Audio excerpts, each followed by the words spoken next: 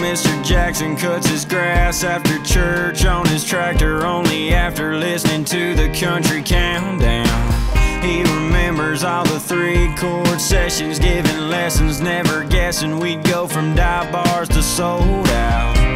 He just smiles,